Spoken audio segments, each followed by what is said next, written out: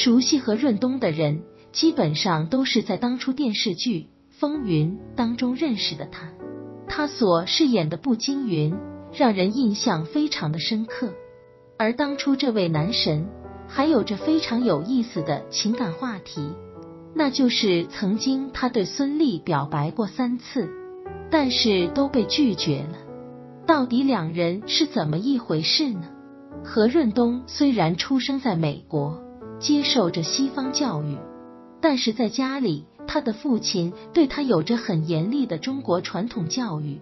首先就是一定要用标准的姿势拿筷子，并且每次考试都一定要在八十分之上。这点倒是和很多的中国父母都差不多，希望自己的孩子。能够变得优秀，而何润东真正步入娱乐圈当中的时候，是在他大二时期的一次巧合。在那年的暑假，何润东回家开始唱 K，被一位音乐人给相中了。从此，何润东便开始走上了一条转变他一生的道路。在一九九四年的时候，何润东便参演了他的第一部电影作品《梁祝》。当时这部电影的导演是徐克，他也看中了何润东身上的那种潜力。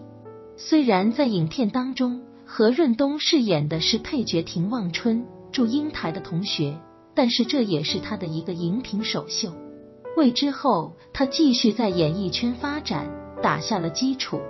之后，何润东便在一九九八年的时候推出了自己的第一张个人音乐 EP。梦想的开始，正式的以歌手的身份出道。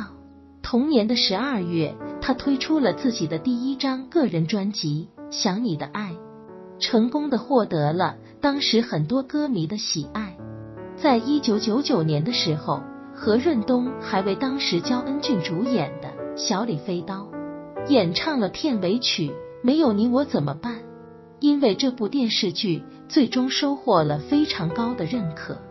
所以何润东也在当时名声大振，成为了红极一时的实力派偶像歌手。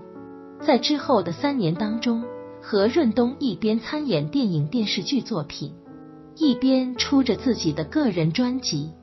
不过，他正是在荧屏上被观众认识到的时候，是在二零零一年，他和赵文卓合作出演的古装奇幻武侠剧《风云》。他所饰演的步惊云成为了当时很多小男孩的梦想。不过，在《风云》的两部作品之后，何润东便开始了出演一些霸道总裁之类的电影电视剧作品，可以说是直接将自己刻画成了一个霸道总裁一样的人物。当然，他还演绎过很多知名的将军，如吕布、项羽等，但是都是非常霸气的那种。因为何润东长得高大帅气，所以关于他的绯闻也传出了不少。其中最为有意思的就是他曾经表白过三次孙俪，但是都被拒绝了。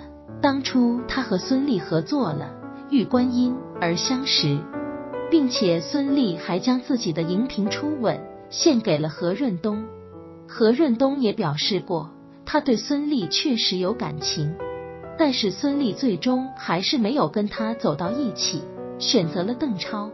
如今两人在二零一七年的时候再度合作了一部轻装剧《那年花开月正圆》。在这部剧拍完之后，何润东也曾表示过，他在古装戏当中剃光头还是第一次。不过这第一次他还是要献给孙俪。其实，在当初，何润东一直对孙俪示好。但是三次表白都被孙俪拒绝了，无奈之下，何润东便找到了自己现任妻子。虽然他的妻子林佩西在之前仅仅是一位百货超市的柜员，但是两人到现在为止依旧非常的甜蜜。